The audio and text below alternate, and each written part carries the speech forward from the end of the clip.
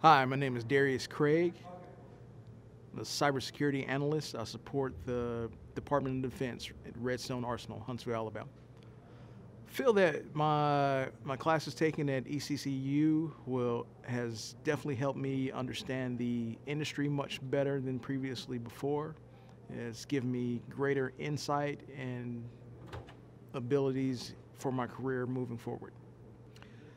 My key highlights with ECCU has been uh, analytics, the, the ability for research, and greater insight into cybersecurity.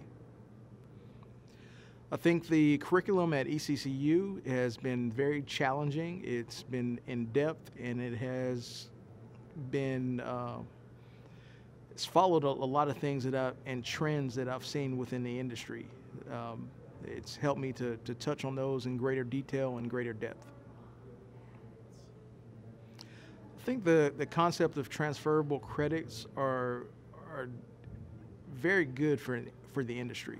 There's a lot of people coming in that will have additional professional training or other degree paths that they can bring into ECCU and complete their, their journey there.